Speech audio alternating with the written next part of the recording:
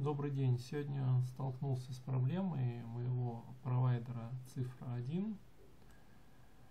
А, очень низкая скорость загрузки. То есть скачивает нормально, да, а загружает очень медленно. Давайте еще раз протестируем.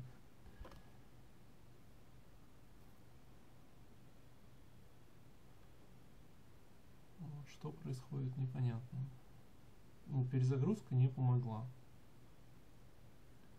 И ну, такое на всех э, устройствах в доме. И по Wi-Fi, и по сети. То есть такая... Ну, то есть видео, например, на YouTube очень долго загружается. Ну, какая-то копеечная скорость.